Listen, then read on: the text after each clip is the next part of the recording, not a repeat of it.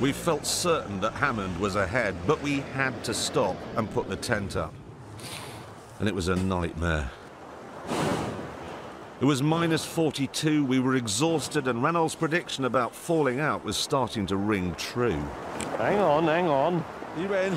No. Come, can, can you just put it in? Just please, But I'm so unspeakably Be quick outraged with you. You're not even doing this intelligently.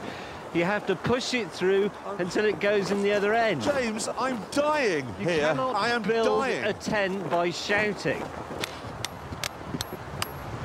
Oh, that, frankly, is a pathetic effort.